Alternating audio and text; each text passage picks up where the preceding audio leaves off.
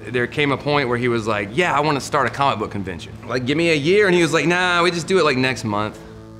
That's really how it all started. So it just kind of continued from there. We doubled our, our numbers each year. You see these people on Twitter talking about these three days were the best days of my life. You know, I mean, that's so cool, man. Welcome to the 2015 North Carolina Comic Con.